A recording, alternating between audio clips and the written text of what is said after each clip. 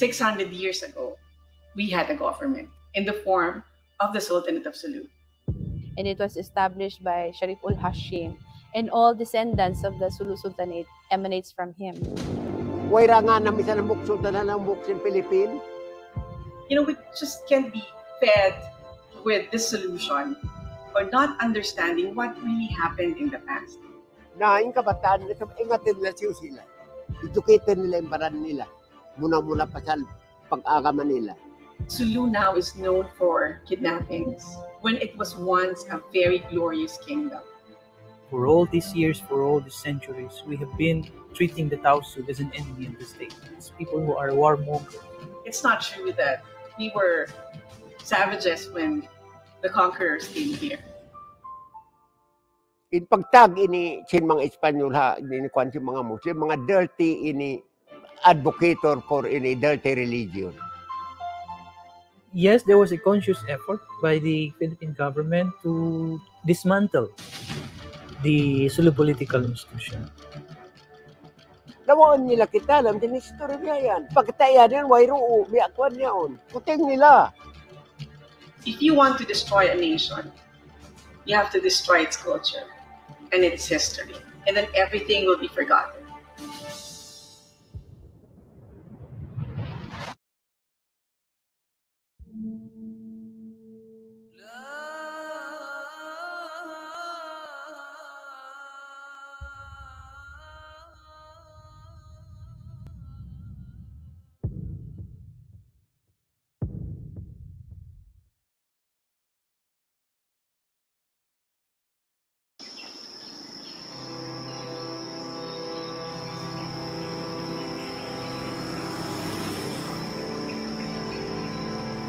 I read a quote somewhere, and it says that the biggest adventure you can take is to live the life of your dreams. But how do you say that to someone who's denied of the most basic needs? 10 pesos. Minsan naman na, ano, 5 pesos. Minsan na wala. Or how do you tell a child that, hey, you can live the life of your dreams when there is war?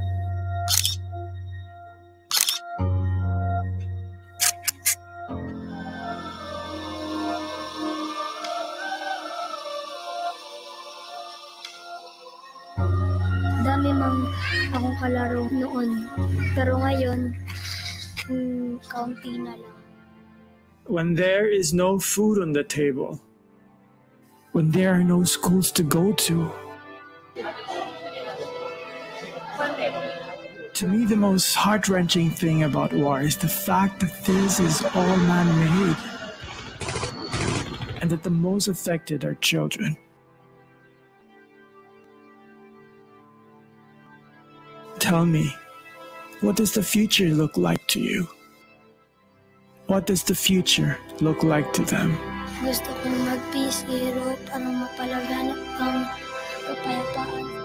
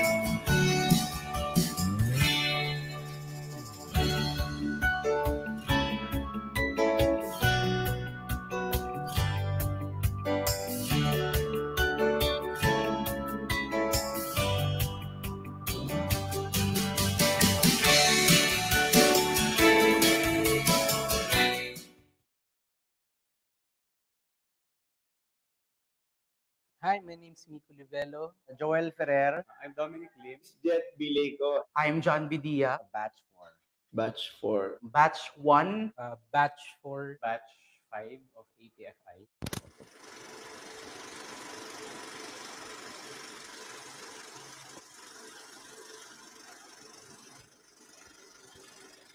Film school is, for me, yun yung way. Especially APFI. Yung nilagay niya ako dun sa parang the right track on how to properly do it. Nakukuha mo yung camaraderie between your classmates, you develop friendships. Playground talaga in film school. Denied ako ng APFI kung saan talaga ako mag-enjoy.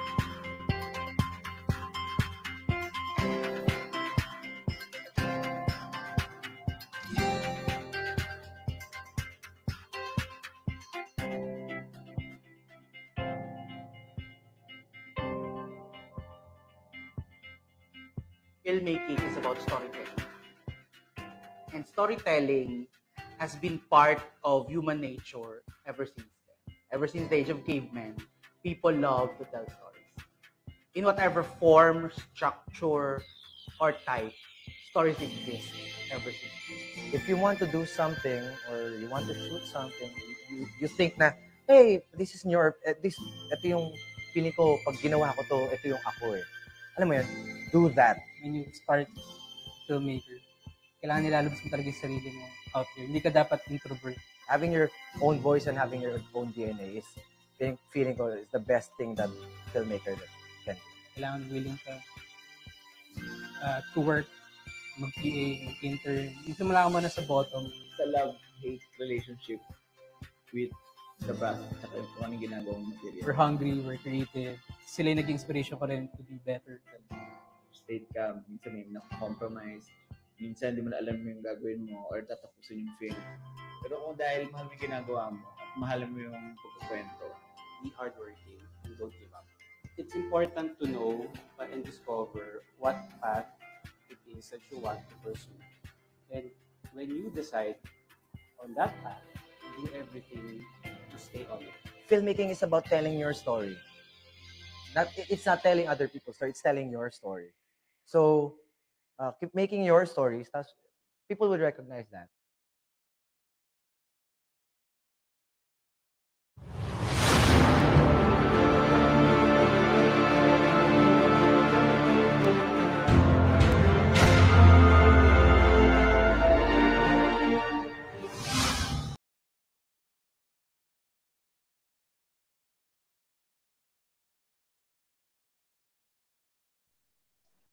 Okay.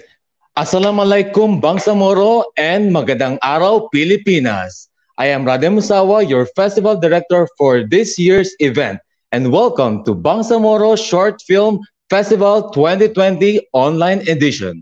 So on this episode, we'll be teaching you on the tips and hacks on how to improve your storytelling through post-production or video editing.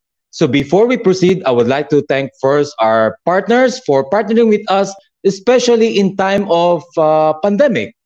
So first, I would like to acknowledge Czech Republic Embassy in Manila, British Council Philippines, Department of Foreign Affairs of the Republic of the Philippines, Para sa Sining, French Manila Art Festival, Bureau of Cultural Heritage of Bangsamoro Autonomous Region of Muslim Mindanao,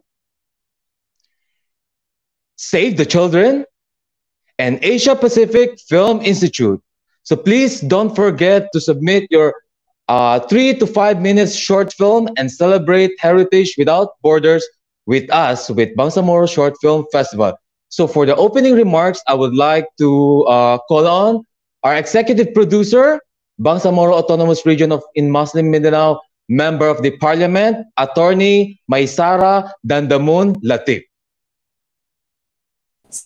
Assalamualaikum warahmatullahi wabarakatuh. I am now here at the our relief operations here in the uh, Ar- Philippine Army for the locally stranded individuals. I am here and uh, would like to welcome you all to our video editing workshop today. Notwithstanding, I'm so busy with our relief assistance.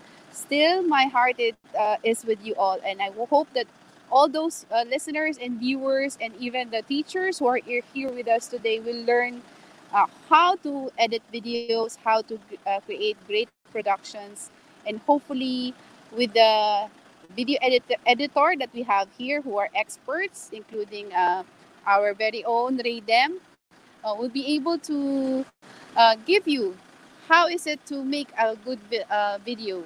And hopefully your students will uh, benefit from it. So thank you very much Radem for uh, having this uh, part two webinar series. Last time we had a seven, seven um, film talks with a webinar film talks film talks with the directors so today we will have the web, web webinar with the video editors so at the Babe background are all those people who help. We will serve 500 locally stranded, stranded individuals today uh, by giving them cash assistance. Um, I hope that with the pandemic, uh, we will be able to capture good uh, storytelling so that people will learn uh, from us and this experience. And hopefully, we can build a better future also. Thank you very much, Raydem, and all the viewers and also our video editor guest today. Thank you so much.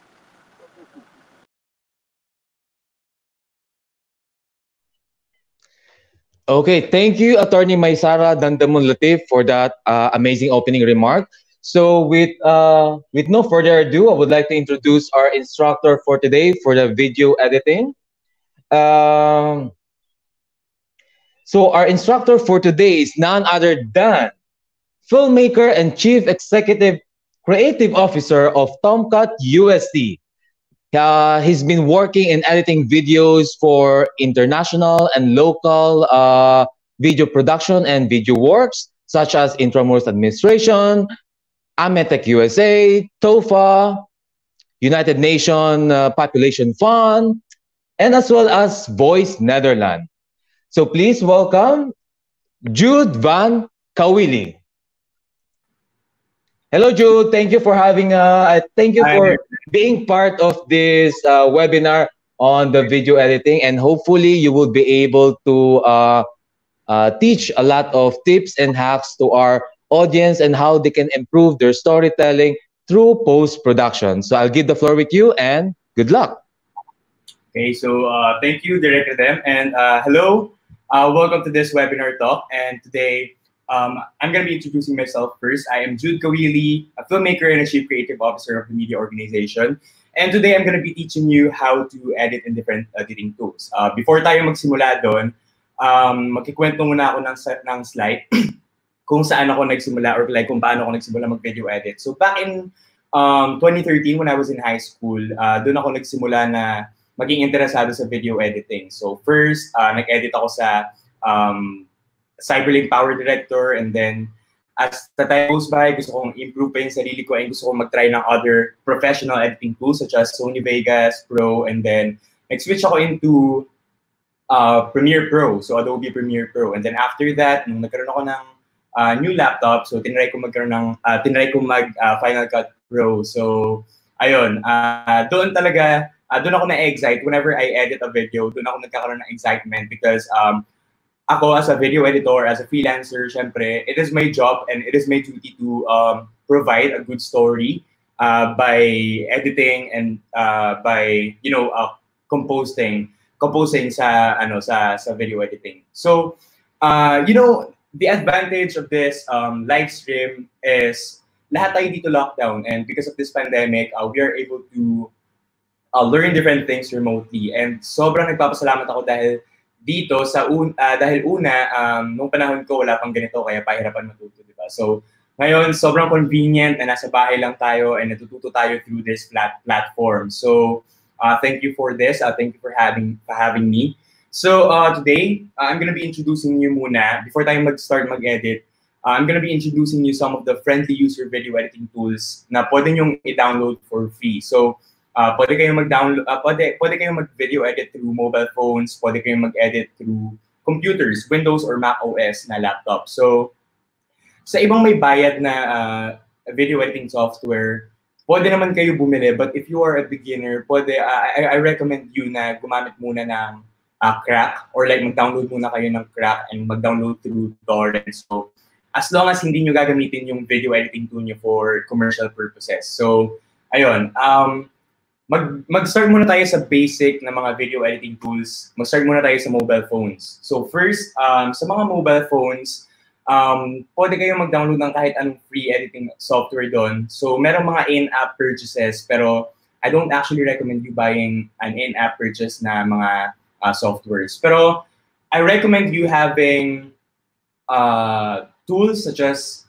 Quick, uh, Adobe Premiere Clip, iMovie, which is for iPhone, uh, WeVideo, Clips, Splice, Cameo, uh, KineMaster, Power Director, uh, LumaFusion, Video Grade, Pinnacle Studio, PicPlay Post, uh, Viva Video, Video Shop, and so on and so forth. Sobrang dami na mga options to um, download.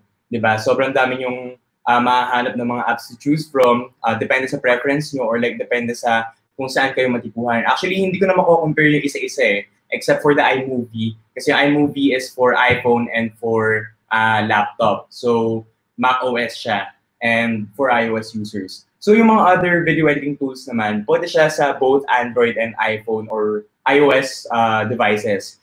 Um, hindi ko siya mako-compare isa-isa kasi halos pareho lang naman sila ng features eh. So, kapag nag edit ka, actually nakapag-try ako mag-edit ng video sa KineMaster once.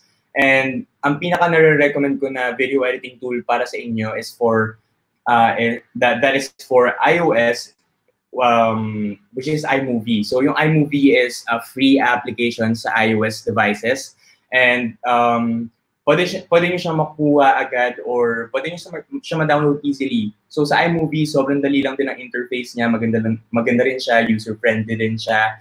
And um, the other one, uh, kung Android phone naman yung ginagamit nyo, pwede rin kayo mag-edit sa KineMaster. So yung KineMaster is actually uh, most recommended app.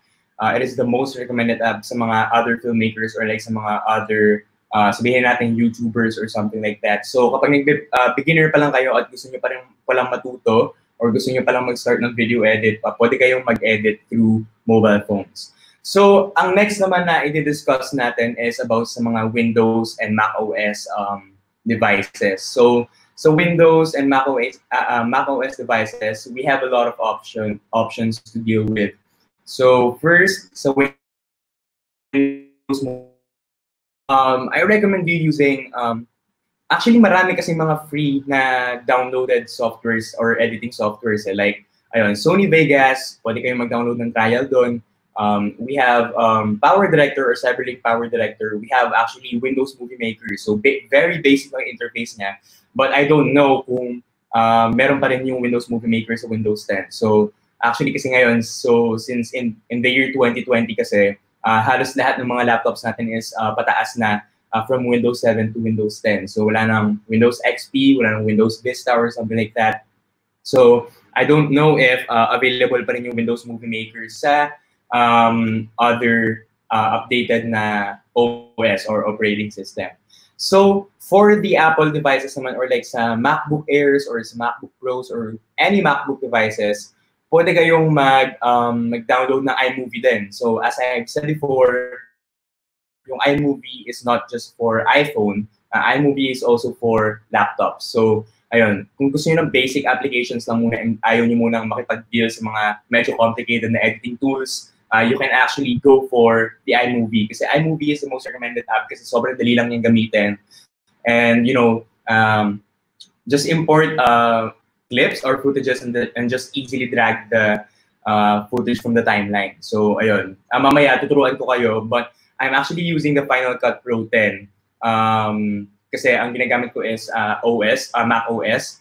Uh, Pero uh, once na mag-edit tayo mamaya, I can you can actually apply everything that I'm gonna be doing sa editing tool ko. You can actually apply it in other editing tools such as uh, Adobe Premiere Pro, uh, Sony Vegas Pro, uh, Avid Pro, um, DaVinci Resolve. So ayun, marami pa, marami pa mga video editing tools na halos pareho lang naman sila ng features or halos pareho lang naman sila ng purpose. So merong timeline, merong project media, sobrang dami. So, isa pa pala hindi ko na-discuss is yung DaVinci Resolve. So, pwede siya for both uh, Mac OS and Windows user. So, ayun yung mga free softwares na pwede nyo gamitin. So, yung uh, DaVinci Resolve, uh, sobrang daming uh, features nun and you can actually download it legally for free. So, pwede kayong maghanap sa Google or like pwede kayong maghanap sa other websites nyo or sa other browsers nyo. Uh, pwede kayong makahanap easily. Uh, yung, yung DaVinci Resolve, uh, nire-recommend ko rin sa inyo yung DaVinci Resolve 16 kasi um, first, hindi lang tayo or like hindi lang tayo makaka-benefit or yung mga other na beginners din ng mga filmmakers makaka-benefit din sa video editing software na yun. Kasi um, yung DaVinci Resolve 16 um, is commonly used sa mga bigger productions din actually. So kung gusto niyo matuto agad ng mga complicated softwares and gusto niyo uh, matuto for long-term investment, uh, pwede kayong uh, matuto agad din sa mga video editing softwares na na minention ko sa inyo kanina. Like yung uh, Adobe Premiere Pro, yung Sony Vegas Pro, PowerLink, uh, CyberLink Power Director, and so on and so forth. So yung DaVinci Resolve kasi is, um, kaya siya ginagamit ng mga other filmmakers is because sobrang ganda ng color grading system niya or like sobrang ganda ng color grading feature niya. So hindi lang siya for stitching, kundi pang color grading siya. Um, at first, talagang mahihirapan talaga kayo na gamitin yung DaVinci Resolve kasi yung interface niya is just it, it is not actually user-friendly. Pero pag nakita nyo yon and kapag nasanay kayo, once na, once na nag-start kayo or once na nag-aral kayo sa DaVinci Resolve, sobrang mapapadali buhay nyo sa pag-edit ng video in the future. So, ayun lang yung mga uh, needed na um, video editing tool na pwede kong i-recommend sa inyo. And yung other video editing tools kasi na hindi hindi ko na recommend sa inyo is medyo buggy siya. So, knowing na halos lahat tayo dito is not actually capable of doing such high quality video content. So like uh, hanggang kaya ang ang kaya lang ng iba sa atin is 1080p resolution or like 1920 by 1080p 1080 resolution. Um ayun lang yung ma-recommend ko sa inyo na optimized for um, both Windows and Mac OS laptop. So um hindi lang laptop, actually computer din. So ayun, uh, brief lang tayo sandali. Um, before tayo mag-start sa actual editing, uh, ang mga video editing tools for the iPhone na pwede ko may recommend sa inyo is whatever na free doon sa makikita nyo sa App Store or like sa Play Store. So marami, di ba? Uh, like yung Quick, Adobe Premiere Clip, iMovie, WeVideos, uh, Splice, Cameo, and KineMaster, Luma Fusion, um, Video Grade, Pinnacle Studio, Quick Play Post, Viva Video, Video Shop, Magisto, um, Funimate, a live movie maker, uh, Filmora, actually ayun, isa pa sa mga ganun. Ang daming free na software sa pwede kayong um, pwede nyo mahanap or like ang daming softwares to choose from. So, hindi na kayo mahihirapan. So, ayun. Um, so, sa mga ibang may bayad, ayun nga, sinabi ko sa inyo kanina, pwede kayong bumili if you are a beginner. Pero kung gusto niyo palang matuto, pwede niyo naman i-crack lang muna eh. And um, I don't recommend you buying agad since ngayon, uh, aspiring filmmakers kayo, yes, and uh, yung mga other uh, na nanonood dito, other viewers na nanonood dito, uh, gusto niyo matuto ng video edit, um, I don't recommend you buying agad-agad ng mga uh, premium na video software. So, um, okay, let's start na sa pag-video edit. Um, agad-agad na to, like straight to the point. Let's start na. Uh,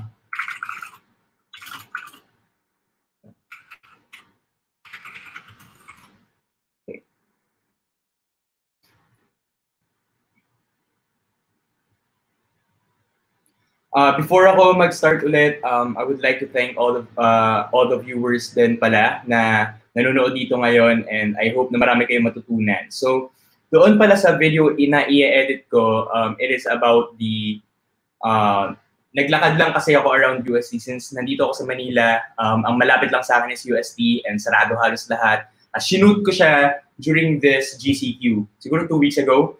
And uh, shinoot ko siya and um, na, napansin ko na parang ang, ang target audience ko dun is Tomasians. Pero like, may konting storytelling even though wala akong narrative doon or like wala akong narration, nagigets na agad ng mga audience kung ano yung pinapakita ko sa kanila because uh, in the first place, um, ang maganda talaga doon is, uh, ang maganda talaga doon is mapapakita ko talaga yung nostalgic experience ng mga uh, Tomasians. So, it is all about the storytelling. From the condo, dyan pa lang sa condo na nakatira ka dyan, um, from hanggang sa pagbaba mo doon sa actual content hanggang sa pagpunta mo sa UST and sa four corners ng UST which is Pinoval, Dapitan, uh, Lacson, and Espanya. So, eto, uh, papakita ko na sa inyo yung tutorial.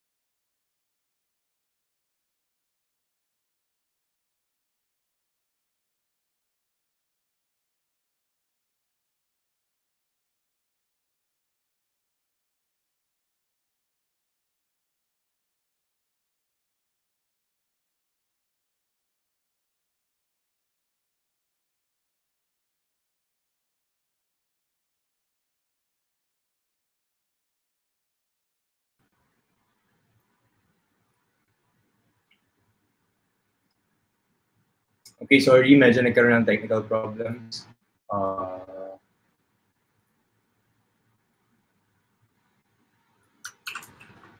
okay, for the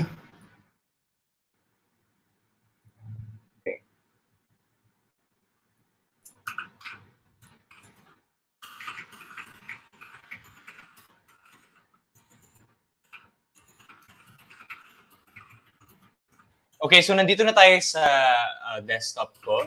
Uh, first, before tayo mag-start ng pag-edit ng video sa isang editing tool, um, i- ang tip and techniques ko muna sa inyo before kayo mag-edit is to uh, organize every file that you have. So, sa pag-organize ng file, uh, kailangan meron kayong folder uh, na nakalaan.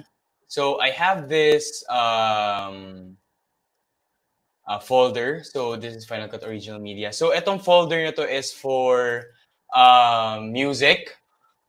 Ito yung music na napili ko before pa. So ito yung nahanap ko sa website na pinagkuhanan ko. So by the way, sa website na pwede yung pagkuhanan ng mga royal, royalty music um, um, website is YouTube Audio Library and Epidemic Sound. So sa YouTube Audio Library, marami kayong mahahanap na free music doon and doon sa Epidemic Sound naman, makakahanap din kayo ng millions of music doon actually. Ang daming preference or like ang daming options. But the problem is, uh, may bayad siya monthly. So kung gusto niyo makatipid doon kayo sa YouTube Audio Library. So YouTube offers a free music and uh, sound effect as well. So uh, ito yung folder na to. So yung folder naman na to is for the footages that I have shot before or last week during the GCQ.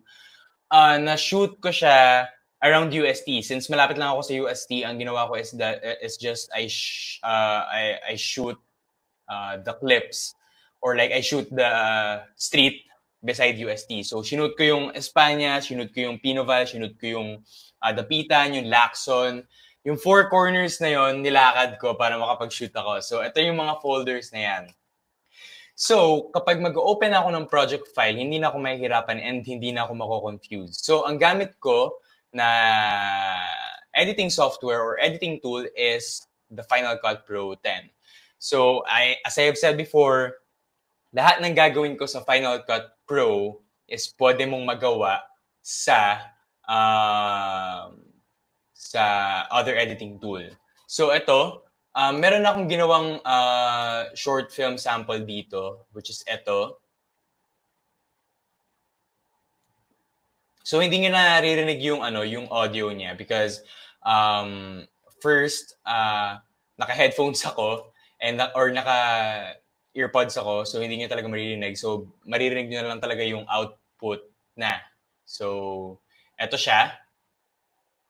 Uh, as you can see, medyo may uh, dating siya because it's uh, a little bit uh, cinematic because I prefer na cinematic lahat ng mga clips ko and the way I color graded, the way I color corrected, the way I um, manually expose the clips sa post-processing. Gusto ko yung ganitong klase ng look because um, it gives a vibe or dramatic vibe, di ba? So, okay talaga ako dito. So, okay, magbe-breakdown lang muna tayo ng, ng, ng, ng ginawa ko na video. So, okay, sabihin na natin na ayan lahat ng mga clips ko, wala pa yan, wala pa yan lahat. So, kunwari, gagawa tayo ng bagong project file. So, file, new project. So, sample. So, dito sa paggawa ng project file na to, um, merong settings dito. So, dito sa video na to, uh, sa video setting na to or video output setting na to, nakaset siya ng 1080p HD and uh, resolution of 1920 by 1080 and the frame rate of 23.98. So, dapat ganyan yung magiging settings ng uh, video project nyo because sa cinematic, sa short film, um, mas maganda na yung frame rate nyo is uh, 24 frames per second kasi since sa lahat ng mga, pag nagpupunta kayo sa sine, mada, madalas yung nakikita yung 24 frames per second and nakikita nyo na medyo laggy yung frame kasi 24 frames per second siya and it gives a cinematic vibe para um, maging mas interested pa yung movie. Uh, para mas maging dramatic siya and para mas uh, magkaroon ng dating yung movie mismo. So, just like um, making a short film or like just making a sh- uh, mini documentary films, uh, ganun din yung ginagawa ko. So like, I prefer na 24 frames per second talaga. And yung resolution naman, mas okay na 1080p HD muna yung gagamitin natin na resolution because sa resolution, um, I don't recommend you guys na gumawa ng 4K resolution na project because um, sa 4K, 6K, or 8K resolution, medyo malaki na yung file niya and uh, I don't recommend you guys um, making a project uh, at that high resolution. Pero, kung capable naman yung laptop nyo na, na mag-edit ng 4K resolution, go lang. Uh, hindi naman kayo pinipigilan. so, uh, sa 1080p HD, ito yung pinaka-standard na high definition na video quality. So, um, ito muna yung gagawin ko. So, sa rendering, hayaan mo muna yan. Ito yung pinaka-standard kasi sa Final Cut Pro 10 is Apple ProRes 422. So, ito muna, I, I'm, I'm gonna hit OK. So, makikita nyo na um, empty yung timeline. Ito yung timeline kasi eh. This is where you are gonna um, put the sample videos or like the footages that you have doon sa project media mo. So, as I have said before, mas okay na ino-organize mo talaga yung files mo um, based, based doon sa uh, video footages and doon sa music nyo kasi uh, automatic na na-detect ng video editing tool mo uh, na sort na lahat yung files mo. So, ito yung mga clips ko. Uh, separate siya from the music. So, ito yung music na na-prefer ko. Uh, ito yung may sariling folder na. So, what I'm gonna do is uh, hit uh, the clips. And I'm gag ang gagawin natin first sa pag uh, video edit is just uh, simple dragging doon sa timeline. So, I'm gonna drag this footage dito sa timeline and as you can see, medyo may change siya. And pag binitawan ko yung mouse ko, automatic na maglalagay na siya or like malalagay na siya sa timeline. So dito sa Final Cut Pro 10, meron siyang magnetic timeline. Pero sa Adobe Premiere Pro, wala siyang uh, magnetic timeline. So you have to manually um, stitch everything together. Um, I prefer na talagang i-manually stitch everything together the clips because um, first of all, medyo magiging super boring siya kapag uh, ang magiging next frame na to, for example, ito ipa-play ko, sobrang magiging boring siya kapag black lahat yung next frame. For example, ito, I'm gonna play this, bigla magiging black. And then after nun, next frame na. So magiging boring siya, di ba? So I recommend you guys na i-stitch nyo talaga ng maayos yung mga clips nyo all together. So, okay.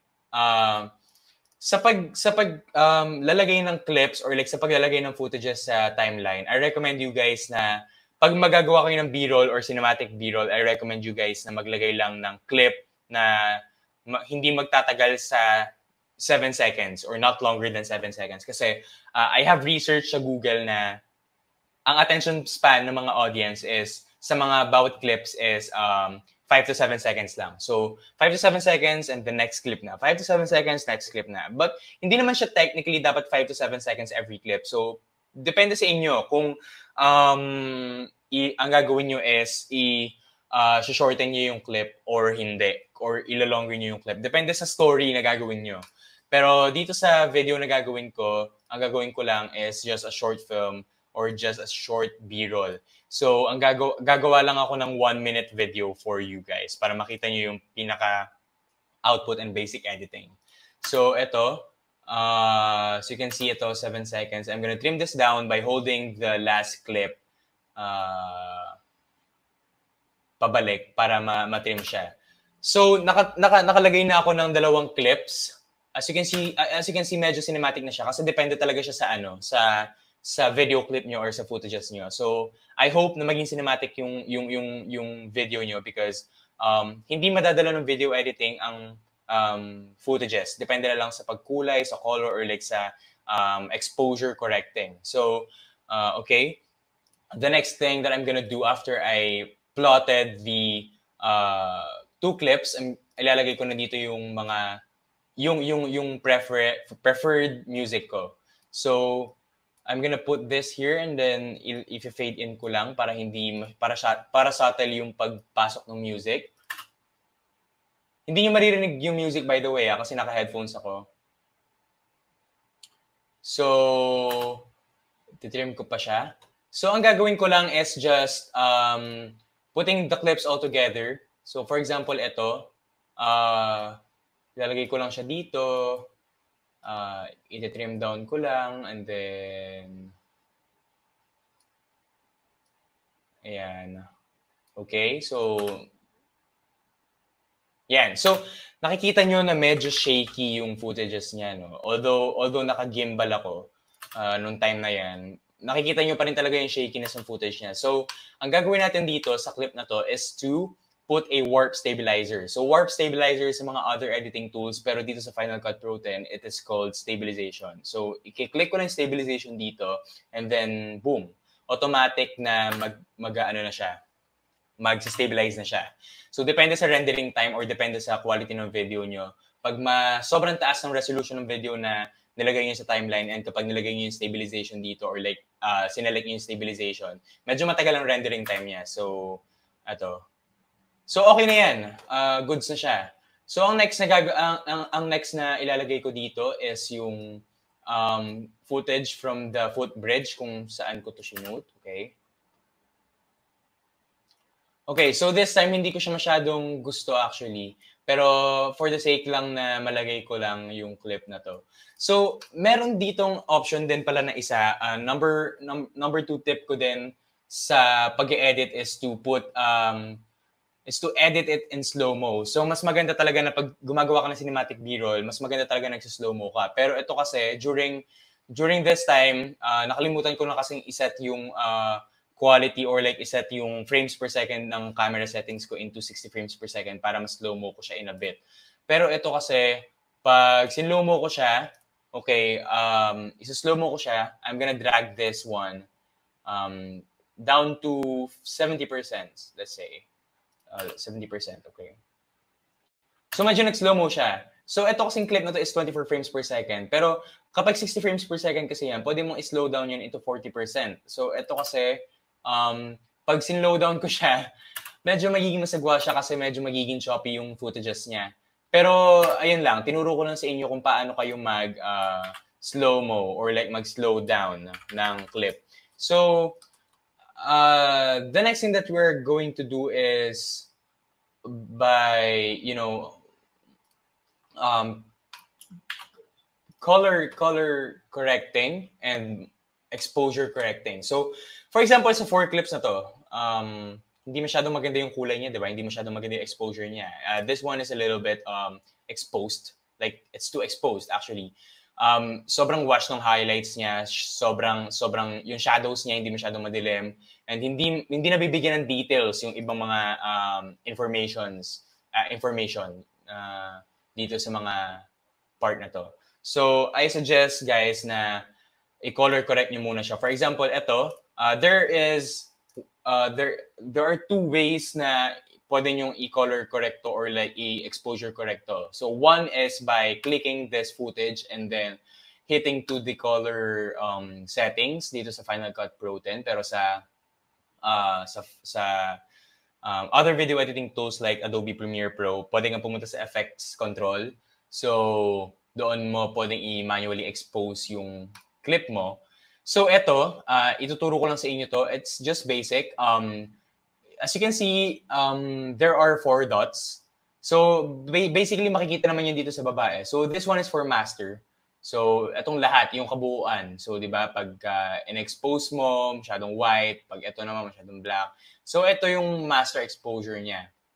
Pero if you want to edit the exposure manually and separately, you can actually hit on the shadows. So this one is for the shadows. Ito, ina-adjust niya yung um, exposure ng pinakamadilim na na parte ng video na to. So ito, for example, uh, as you can see, makikita nyo talaga yung, yung shadows niya. So kapag bina, binabaan nyo yung shadows nito, sobrang magiging contrasty siya uh, in which sa mga other films, we don't want that kind of um, uh, films. Pero depende kasi sa director yan eh. Depende sa filmmaker yan. Ako kasi, mas gusto ko kasi yung less contrasty. So, uh, I recommend na talagang i-adjust lang to a little bit. And then yung etong midtones na to, um, kapag may tao or like kapag may subject na tao, you can actually edit the skin tones or the exposure of the skin tones by editing the midtones. So eto, in-edit naman niya yung kind of the midtones ng ano na to, ng um, uh,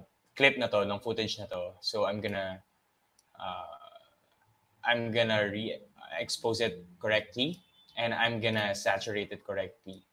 So sa film, um, hindi recommended or like, depende sa inyo kung, kung anong kulay ang gusto nyo. Pero meron kasing three types of coloring sa film eh. Uh, one is the warm, the next one is the cool, and the next one is the standard. So sa film, depende sa mood nyo and depende sa vibe nyo or like depende sa pag-edit ng video nyo.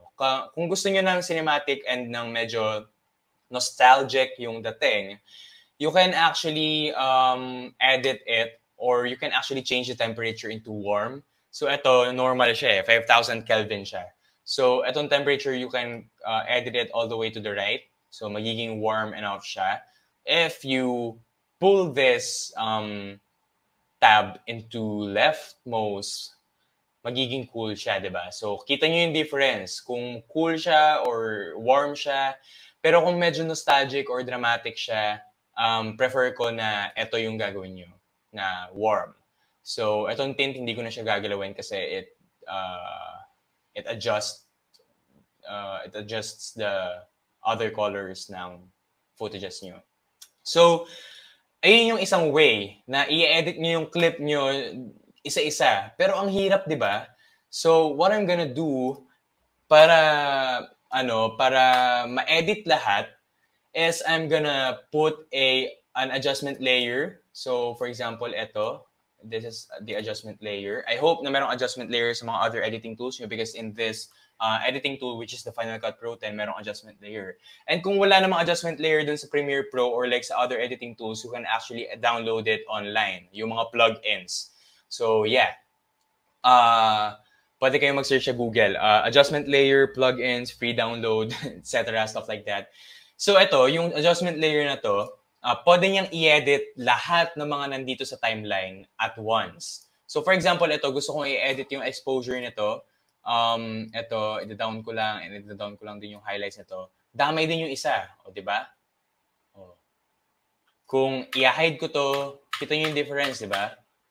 Ito rin, kita nyo rin kung gaano to. So kung medyo maliwanag, kung medyo madilim to or like super dilim na to, you can actually adjust the clip um, separately. So you can easily click the clip and then uh, expose it correctly. So like that.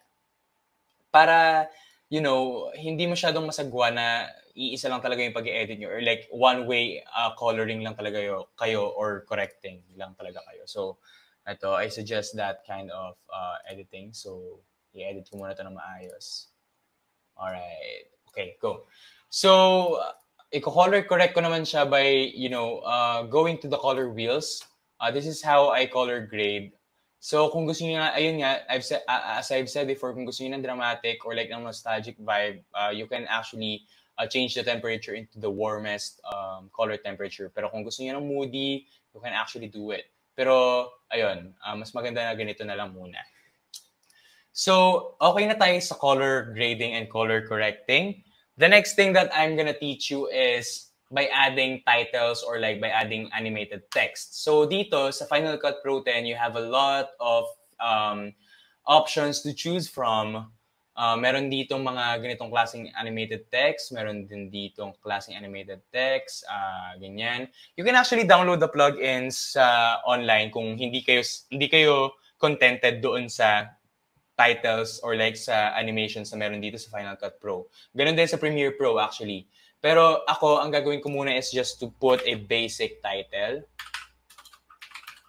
So basic title muna tayo dito para hindi tayo masyadong mahirapan and para madali lang ang pag-edit kasi I'm running out of time. So ayan, ito na yung title, 'di ba? Nakikita niyo naman. So ito yung title, automatic siya lumabas dito. So I'm gonna put Bang Samoro short film. Yan. So okay. So sa Bang Samoro short film, ayan yung text na binago ko and actually you can change the font here sa baba. Ayan, nakikita niyo naman yung mga options diyan. So I'm gonna put a League Spartan na uh, uh, na text. Pero kung hindi masyadong cinematic ang tig- tignan, uh, let's just um, put Helvetica.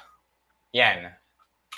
And then light oblique. Okay, so medyo okay na siya for me ha. So ito yung inano ko. Okay, bang sa more short film. So, sa short film kasi, um, hindi kasi maganda na bigla-biglang pumapasok yung mga films mo right off the bat or right from the start of the video. So, I suggest na maglagay kayo ng transition effect sa first ever uh, clip nyo. Dito sa Final Cut Pro, merong fade to color na transition. Pero sa other filmmaking uh, or sa other video editing software, um, ang tawag dun is uh, fade to black. So, kita nyo yung um,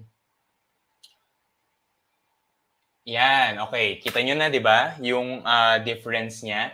So, dito rin sa text na to, pwede ka rin maglagay ng fade to color na plug-in sa text na to. So, para hindi masyadong abrupt yung paglilitaw uh, ng text. Okay, nice. Diba? Okay. So, ang next naman na i-discuss ko sa inyo is, ayun, transitions. So, paparaanan ko lang. Um, sa Final Cut Pro 10, you have a lot of options to choose from sa mga transitions. Pero sa filmmaking kasi, I really don't recommend you having uh, very cool transitions or like yung pinaka ma-effect. Kasi hindi masyado maganda yon. For example, okay, dramatic yung music mo, tapos maglalagay ka ng ganitong klaseng transitions. 'Di ba? Parang ang bigla-bigla. So nakakatakot siya or like nakakatawa siya. So hindi siya appropriate. Um, sa short film kasi, sa mga dramatic short film kasi, I really recommend you na mag-stitch lang kayo easily or like simple stitching lang. Uh, simple, simple lang din ang paglalagay ng ano ng ng transitions uh, hanggang sa fade to color or cross dissolve. Uh, ito yung cross dissolve by the way. Okay, so I'm gonna uh, edit this one. So ito yung fade uh, cross dissolve. Makikita niyo yung ayan, 'di ba? So that's that's basic, 'di ba? Pero I'm I'm not gonna put this. So yeah, um ayun lang naman actually yung uh, tip ko sa inyo. So merong akong last tip sa inyo. Uh, na- napapanood niyo naman kasi 'di ba sa mga other movies or like kapag nanonood kayo ng sine, merong mga parang color black na something sa baba at saka sa taas, 'di ba? It's uh it's because it has a cinematic bar.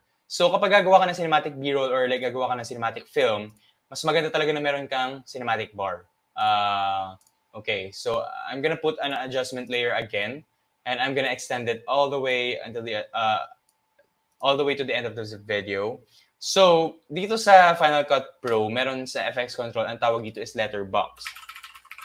So, letterbox, it gives a cinematic bar. Ayan o, na ngayon pa lang nakikita mo na.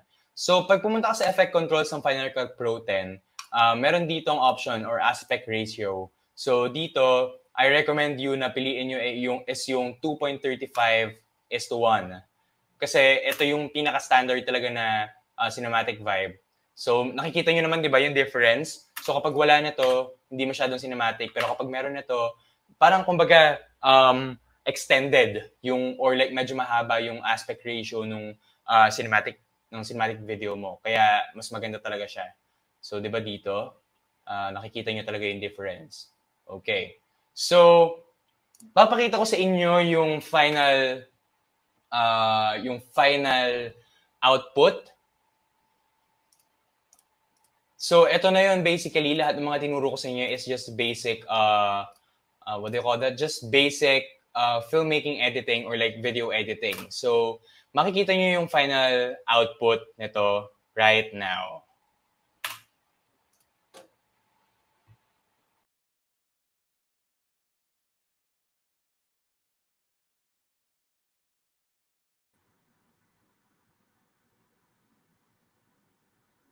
Okay, so wait lang for the final output.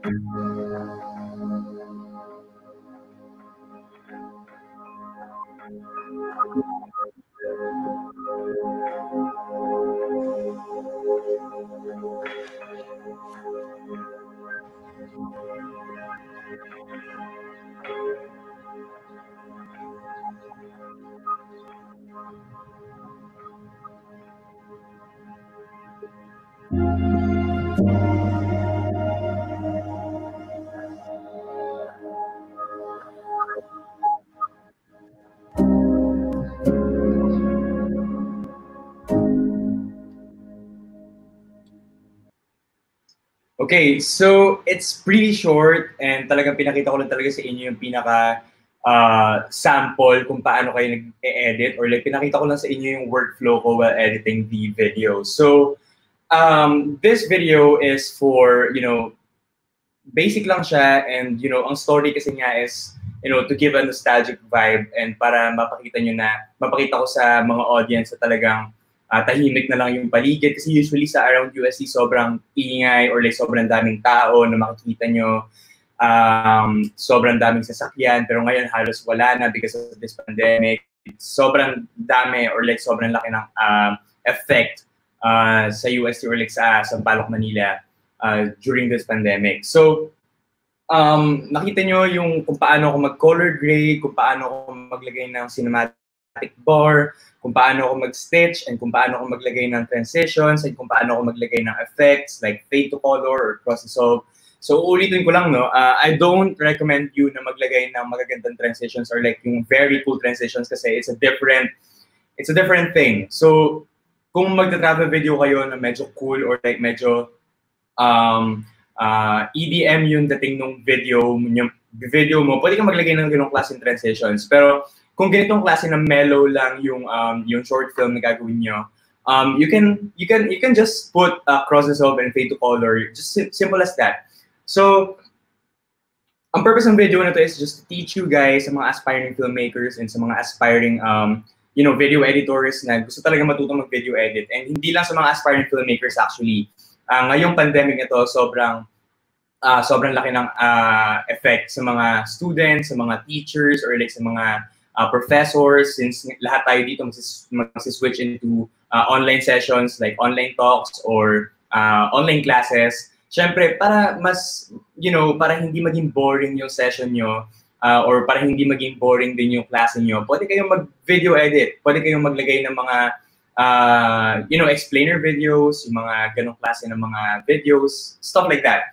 So, um, just reminding you guys na lahat ng mga nakita ko kasi, kasi sa comments na parang medyo uh, medyo nadadown kayo dahil, you know, magastos or like medyo uh, hindi nyo alam kung ano yung mga video editing tools na pwede nyo gamitin kasi halos lahat dito is may bayad, ganyan. Uh, as I've said before, you can actually download other editing tools for free and kung hindi pa kayo, um, hindi nyo talaga ipupursue yung film nyo, yung filmmaking uh, filmmaking, sorry, kung hindi niya talaga ipopursue yun, uh, you can actually crack uh, and you can actually um, learn para, you know, para natutulong talaga kayo kung paano o kung paano kayo mag-video edit or like what's behind the video editing, di ba? Uh, is for knowledge and is for educational purposes. Not unless na gagamitin niyo yan for commer- commercial uses because um, you know, pag commercial uses kasi medyo malalaki budget ng mga productions or something like that. Pero kapag mga classes lang or online sessions lang or online talks or uh, not face-to-face classes, you can actually download all, all of the softwares for free. So, ayun, I hope na marami kayong natutunan sa session na to. And kung meron kayong mga questions, you can actually PM me uh, directly sa Facebook na um, pinagko-commentan ko kanina. So, you can actually um, ask me questions there and you can actually ask um, kung, uh, kung paano yung other techniques and tips and tricks kung paano kayo mag-video edit or like kung paano mag-video edit. So, video editing is not actually technical eh. So, it's subjective. So, depende sa inyo kung paano nyo ipo-portray or like kung paano nyo i- uh, really imagine or like kung paano kayo maglalagay ng story sa video na gagawin nyo. So, basically, it's just like that. Um, hindi ganun kadali, hindi ganun kadali mag-video edit sa, sa simula, yes, of course. Pero by the time na nag-edit kayo nung nag-edit or like nagko-continue lang kayo ng, or nagko-continue kayo nung nagko-continue sa passion nyo, you know, tuloy-tuloy lang yan eh. Ma- Matututo na talaga kayo. And actually kasi ako back in high school talagang hindi ko talaga alam kung paano mag-video edit and wala talaga akong idea kung paano magsimula. So I just watched YouTube uh, videos, uh, natutulong ako sa mga other YouTubers or like filmmakers kung paano mag-edit ng tama or like kung paano mag-edit ng madali, ganyan yung mga shortcuts, keyboard shortcuts. Um, pwede rin kayong maghanap sa YouTube chat, sa, sa mga other YouTube channels. Ako, netong tumatanda na ako or like medyo nagmamature na ako, um, marami ako natututunan sa mga uh, new vloggers or like new YouTubers like sabihin natin si Ryan Odensial, si Matty Hapoya, si Peter McKinnon, yung mga international YouTubers. Pero si Ryan Odensial is just a local YouTuber or like a local filmmaker. So marami kayong matututunan sa kanila. And kung gusto niyo naman na sa akin kayo matuto, you can actually subscribe to my channel. So papakita ko sa inyo yung channel ko. I'm gonna share my screen. Okay. So ito yung uh, screen ko or like ito yung channel ko. Uh, okay, wait. So, pwede kayo mag-subscribe sa akin, um, youtube.com slash uh, Jude Kawili for more of this uh, kind of content. So, wait lang. Yan, okay, good. Um, ito yung mga uh, ina-upload kong uh, video sa YouTube channel ko. So, gumagawa ako ng camera reviews, nagtuturo din ako kung paano ako nag-edit ng mga lookbooks or like ng mga short uh, video portraits or something like that. So, mga travel videos din yan. So, merong maraming maraming kinds ng genre talaga yung, ma- yung makikita nyo. So, eto, uh, yung tip ko sa inyo kanina kung saan kayo pwede maghanap ng mga royalty-free music. Actually, you can uh, search uh, YouTube Audio Library, for example, okay. Okay, so sa Google, search ako ng YouTube Music Library. So kapag click ko yung very first link, uh, that, uh, makikita nyo lahat ng mga uh, music, ng mga bagong music. So, kung gusto niyo ng instrumental, makakahanap kayo by just searching. Sobrang daming uh, options to choose from. And actually, sa sound effects, marami din kayo makikita because, ayan o, uh, yung mga unnecessary na sound effects, ganyan. Um, kung gusto niyo magbigay ng actual na, um, you know, kung gusto niyo magbigay ng mood sa mismong video nyo, Uh, for example, kung isa-silent nyo lang yung video nyo, um, mas maganda kung maglagay kayo ng sound effects para mas clear kung ano yung um, uh, pinapakita nyo or like pinapa-visualize nyo sa mga audience nyo. Like for example, uh, pwede kayong maghanap ng uh, other, for example, sasakyan sa labas, sa mga kalsada. Pwede nyo i-emphasize yon by just searching in the sound effects tab, uh, car, for example, makakahanap kayo niyan. Like, for example, bullet hit car, body car, car doors, stuff like that. So, kung gusto niyo naman ng mas premium, pwede kayong maghanap dito sa Epidemic Sound. Um, it's actually uh, royalty-free music pero kailangan mo mag-subscribe monthly. Pero medyo magastos siya, yes. Pero ayun, um, I recommend you na mag-audio library na lang kayo from YouTube. So, libre lahat yan, non-copyrighted content. So, ayun. Um, I hope na makatulong, nakatulong ako sa inyo, sa mga teachers dyan, sa mga educators out there, sa mga aspiring filmmakers, aspiring YouTube uh, vloggers, stuff like that. I hope na nakatulong ako sa inyo. And thank you guys for viewing my live stream and thank you guys for editing with me. Okay.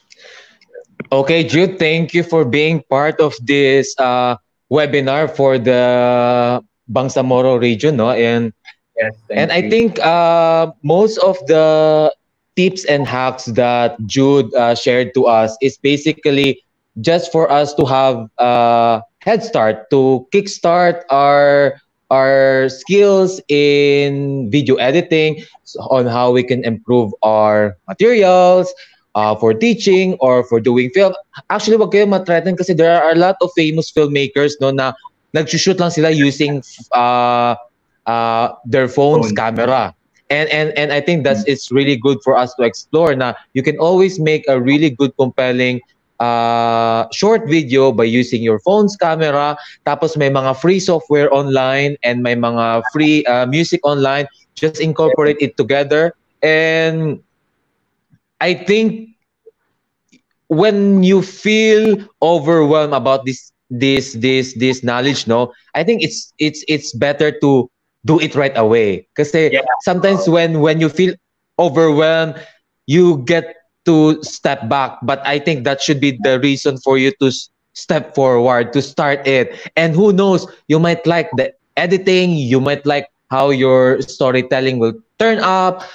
Uh, you would like how the your teaching materials will result, and also don't forget to submit your short film, three to five minutes uh, short film for the Bangsamoro Short Film Festival on on or before July 25 and celebrate heritage without borders with us here. Um, and also, I would like also to announce that uh, this festival will be giving away a lot of prizes as well, no? Uh, and I think the prizes will be so exciting for all the participants. So please come and join and and and sometimes in joining this kind of uh, in initiative or festival, it will uh, uh, bring you to many places and will bring you to many dimensions where you can you can grow your talents, your skills.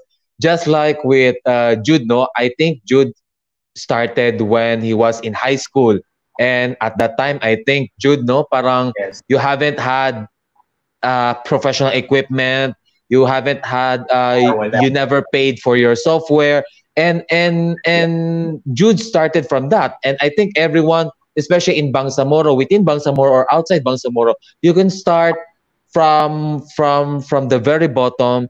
And later on you will be thankful enough looking back that you started from the bottom and where you are in the near future. So so yes yes I'm, I'm gonna give another tip para sa mga aspiring filmmakers then. So, this uh the reason for success or like ang ang ang reason para maging successful ka sa buhay is to take a risk. So, kung hindi ka magte-take a risk, yun yung pinaka-dangerous risk mo sa buhay mo. So, I, I think that you have to take a risk talaga. Okay, tama. So, before we close this, I would like to thank again our partners for partnering with us, especially in time of pandemic, so that a lot of our Moro youth will be able to uh, have something to do creatively and to echo their voices through storytelling, through short films. So, I would like to thank thank um, Czech Republic Embassy uh, Manila, Department of Foreign Affairs of the Republic of the Philippines, uh, Fringe Art Festival, uh, British Council Philippines, Bureau of Cultural Heritage of Bangsamoro Autonomous Region of Mas Mindanao, Save the Children, Para sa Sining, and Asia Pacific Film Institute. And yes, speaking of Asia Pacific Film Institute, uh, they will be sponsoring a scholarship pala for uh, for the winning best film to be able to have uh, uh, study of your choice. It's either uh, directing, editing, cinematography, or script writing. So the best film winner for this event will have a scholarship care of Asia Pacific Film Institute and a lot of other prizes as well. We will be announcing the list of prizes and the list of categories of prizes that will be uh, providing uh, this August 15. Uh, we will probably announce it later this weekend or by next week. So please, I encourage everyone to submit your short, short film and join us in this initiative of ours. With uh, also, uh, I would like to thank our executive producer, uh, Bangsamoro Autonomous Region of Mas Mindanao, Member of the Parliament, Attorney Maisara Dandamun Latif, for uh, being the main presenter and pro- for producing this initiative of ours for the Bangsamoro youth. And so, yeah, thank you so much, Jude, for joining, and thank you for your organization, Tomcats UST, for lending us your talent, and hopefully it will translate, translate and ripple, and will pass down to the uh, to the morals of, of, of diverse faith and diverse ethnicity in Bangsamoro region and outside Bangsamoro. So thank you so much, guys, and thank you so much, Jude. And Thank you. see you see you on our next uh, webinar. Uh, uh, for our next webinar, established Moro filmmakers will be sharing their stories and also on their techniques on uh, in storytelling and how you could create your own voice and how they started. Um, okay, hang on. Uh, mhm. So that's it for now, and thank you so much, and see you on our next webinar. Don't forget to submit your short film on on or before July 25th. Thank you and shukran.